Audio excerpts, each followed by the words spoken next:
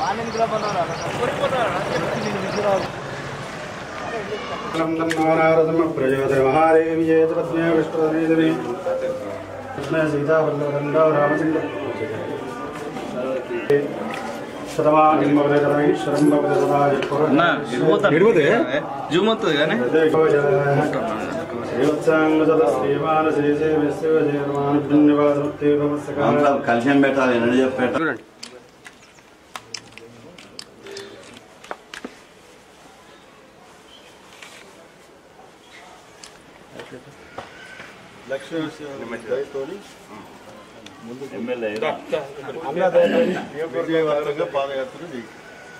ముందు పోయి ఒక చిన్న అందరికంటే అన్న ప్రజాప్రతినిధులు కానీ పాలకులు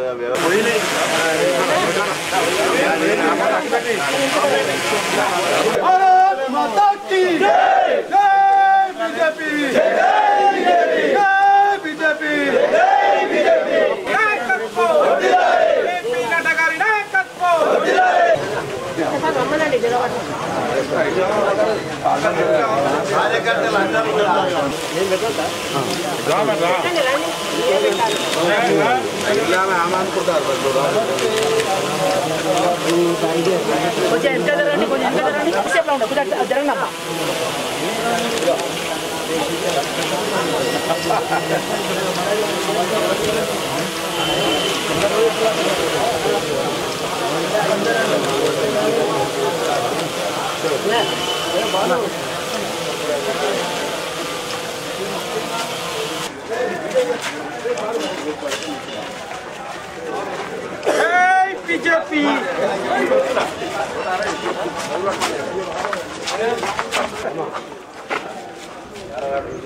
ఏయ్ స్టిక్కర్ ఏది స్టిక్కర్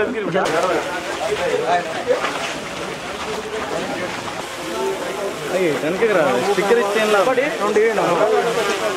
ఎక్స్ప్లెయిన్ చేయను బీజేపీ మెల్ల మెల్లగా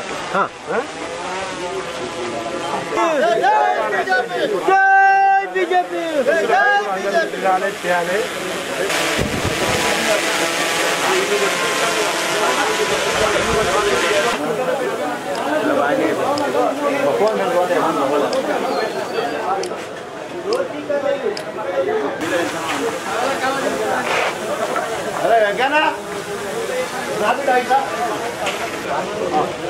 ముందు నడుస్తూనే ఉండాలి వేసుకోండి ముందు పారు బాగుండాలి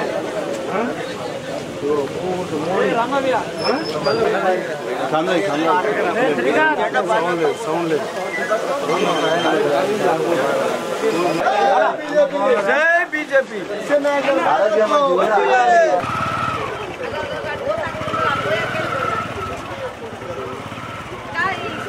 నమస్కారం. ఈరోజు మహబూబాద్ నియోజకవర్గంలోని ఇనుగుర్తి గ్రామం నుండి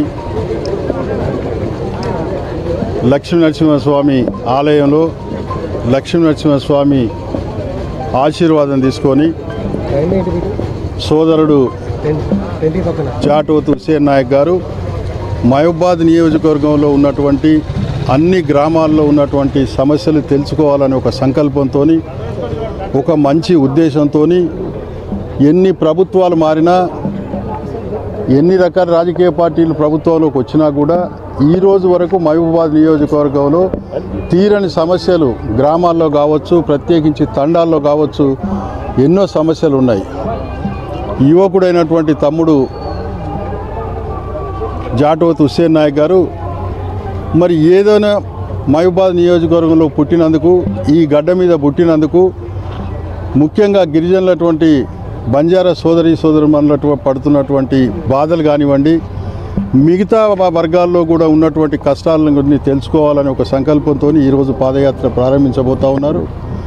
మరి ఈ పాదయాత్ర పూర్తి మహబూబాద్ నియోజకవర్గంలో ఉన్నటువంటి అన్ని గ్రామాల్లో పర్యటించి ప్రతిరోజు ఏ గ్రామంలో అయితే పర్యటిస్తారో ఆ గ్రామంలో ఉన్నటువంటి సమస్యలను అన్నీ తెలుసుకొని వాటిని లిఖితపూర్వకంగా రాష్ట్ర ప్రభుత్వం ఏ సమస్యలు పరిష్కరించగలుగుతుంది? అవసరమైతే కేంద్ర ప్రభుత్వం దృష్టి కూడా తీసుకుపోయి ఈ మహబూబాద్ నియోజకవర్గంలో ఉన్నటువంటి సమస్యలు కొన్ని కేంద్ర ప్రభుత్వం దృష్టిలో కూడా ఉన్నాయి. ఆ సమస్యలు కూడా మేము తప్పకుండా ఈ మహబూబాద్ నియోజకవర్గంలో ఉన్నటువంటి ఇబ్బందుల్ని కేంద్ర ప్రభుత్వాన్ని తీసుకుపోయి అవసరమైతే రాష్ట్ర ప్రభుత్వం మీద కూడా ఒత్తిడి తీసుకొచ్చేసి ఉన్న నగ్న సత్యాలు వాస్తవాలు తెలుసుకోవటానికే ఈరోజు హుస్సేన్ నాయక్ గారు మరి గ్రామాల్లో పాదయాత్ర సంకల్పం చేశారు. మరి ఇంతవరకు ఇంతమంది నాయకులు ఇక్కడ ఎన్నిక కాబడ్డారు ఎన్నో రకరకాల రాజకీయ పార్టీలు వచ్చారు. మరి ఏ నాయకుడు కూడా ఈరోజు మాకు తెలిసినంతవరకు అయితే పాదయాత్ర చేసి గ్రామాల్లో ఉన్నటువంటి సమస్యలు తెలుసుకుందామనే సంకల్పం అయితే ఎవరి దగ్గర ఉన్నట్టు కనిపించలే మాకు తెలిసినంతవరకు అయితే. తప్పకుండా మహబూబాద్ నియోజకవర్గంలో రేపు రాబోయే ఇరవై మూడు డిసెంబర్లో కానీ ఇరవై నాలుగు జనవరిలో కానీ మహబూబాద్ నియోజకవర్గంలో ఈసారి కిషన్ రెడ్డి గారి నాయకత్వంలో ఇక్కడ హుస్సేన్ నాయక్ గారి నాయకత్వంలో భారతీయ జనతా పార్టీ జెండా ఎగరటం ఖాయం. అందులో మాకు ఎలాంటి సందేహం లేదు. ఎలక్షన్ వన్ ఎలక్షన్ తీసుకొస్తుందనే కాదు రేపు పద్దెనిమిది నుంచి ఇరవై రెండో తారీఖు వరకు పార్లమెంట్ సమావేశాలు కూడా పెట్టారు. ఆ సమావేశాల్లో దీని మీద చర్చ జరుగుతుంది. కేంద్ర ప్రభుత్వం ఏంటంటే మీరు గతంలో ఇంచుకు చూసినట్లయితే కూడా ఎప్పుడైతే పంతొమ్మిది వందల నలభై ఏడు ఇండిపెండెన్స్ వచ్చిన తర్వాత చాలా కాలం తర్వాత భారతదేశంలో మూడు పర్యాయాలు అంటే దాదాపు ఇరవై సంవత్సరాల వరకు దేశం అంతా ఒకేసారి ఎన్నికలు జరిగింది రాను రాను ఏమైందంటే ఈ చరిత్ర కూడా తెలుసుకోవాలి మనం. రాను రాను ఏమైందంటే కొన్ని రాష్ట్రాల్లో కొన్ని ప్రభుత్వాలు పడిపోవటం మారిపోవటం దీనివల్ల ఈ ప్రభుత్వాలు అసెంబ్లీలు ముందుకు రావటం పార్లమెంట్ వెనుక జరగటం ఈ రకమైన పరిణామం ఉన్నాయి. రెండోది ఏంటంటే ఇన్ని రాష్ట్రాల్లో మన వెనుక చూసినట్లయితే ప్రతినిత్యం ఐదు సంవత్సరాల్లో ఏదో ఒక రాష్ట్రంలో ఆరు నెలలకు ఒకసారి స్థానిక సంస్థల ఎన్నికలు మున్సిపల్ ఎన్నికలు అసెంబ్లీ ఎన్నికలు ఏదో ఒకటి వస్తూ ఉంది. దీనివల్ల ప్రజల డబ్బు వేస్ట్ అయిపోతూ ఉంది. ఇవన్నీ దృష్టిలో పెట్టుకొని కేంద్ర ప్రభుత్వం ఏం ఆలోచిస్తుందంటే జమిలీ ఎన్నికలు అన్ని రాష్ట్రాలు కలిపి పెట్టడమా? లేదా ఒక సంవత్సరం లోపున్న రాష్ట్ర రాష్ట్రాలు ఎన్నికలకు వచ్చే అవుతుండే పెట్టి ఇప్పుడు